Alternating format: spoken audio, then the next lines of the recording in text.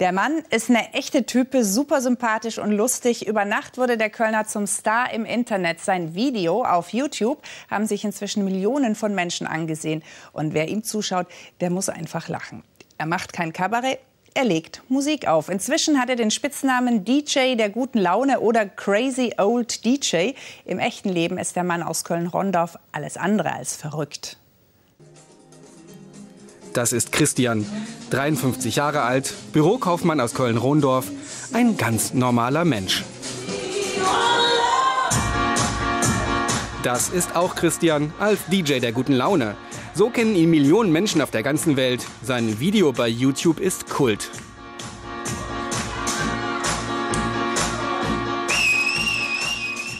kommt einfach von selber, kommt aus mir raus, ist ein Input, der bei mir das eben erzeugt. Ich denke, das ist bei allen Menschen mehr oder weniger der Fall.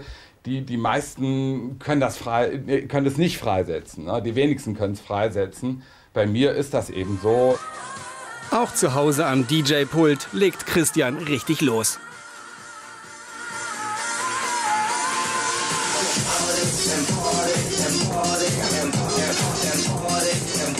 Es ist die wundersame Verwandlung vom braven Büroangestellten zum Partylöwen. Sobald irgendwo Musik läuft, muss Christian sich bewegen. Beim Autofahren ist mir da schon mal ein Sitz durchgebrochen. Also es war an der Ampel offen gestanden. Habe ich mir ein Vergnügen draus gemacht vor Jahren, als ich noch mehr Auto fuhr, von der Ampel stehend, Gang schon mal reingelegt und dann da abgerockt. Die nebenan, die guckt natürlich nur. Ich hatte die Ampel im Blick und bin dann locker, bin ich dann losgefahren, während die noch am Gucken waren. Und bei so einer Aktion ist mir dann so ein Sitz auch mal abgebrochen, weil, weil da werden schon Energien frei. Ausgelöst hat den Hype dieser Herr hier. Auf einer Hochzeit hat er den tanzenden DJ gefilmt, das Video ins Netz gestellt und ihm den Namen DJ der guten Laune gegeben.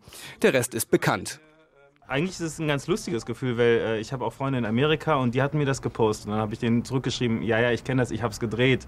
Und das glaubt natürlich einem niemand, weil niemand kennt irgendjemanden, der so einen YouTube-Hype mal ausgelöst hat. Ne? Also alle kennen YouTube-Hypes, aber niemand kennt die Urheber. Und das ist eigentlich immer ganz lustig, dass die Leute es äh, nicht glauben. Ne? Bei YouTube schreiben die Fans Kommentare über den Techno-Oper und fragen sich, wie man nur so gut drauf sein kann. Da ist etwas in Gang gekommen, was nicht mehr zu stoppen ist. So richtig glauben kann Christian noch nicht, was da passiert ist. Ich fühle mich positiv erkannt. Also ich fühle mich von den mehr erkannt, als, als ich das selber wahrnehme. Wenn ich das sehe, sehe ich das kritisch, denke ich an manchen Stellen, das ist aber ein bisschen wild. Und wenn ich das manchen sage, dass es das gibt, dann warne ich auch ein bisschen vor schon mal. Aber was zurückkommt, ist dann immer nur total positiv. Ne? Die nehmen das als Antidepressivum und äh, ja, ohne Nebenwirkungen. Natürlich könnte Christian all das inszeniert haben, um seinen Marktwert zu steigern. Seine Gage als DJ hat er auf jeden Fall schon einmal erhöht. Wahrscheinlich aber ist, dass er nur ein musikverrückter Freak ist, der Spaß haben will. Ich bin der DJ der guten Laune. Es macht mir einfach Spaß, ne? den Leuten so positiv was rüberzubringen. Das ist richtig schön. Doch, richtig klasse. Und die haben ihren Spaß, wenn er wie jeden Tag auf seinem Fahrrad vorbeitanzt, der DJ der guten Laune.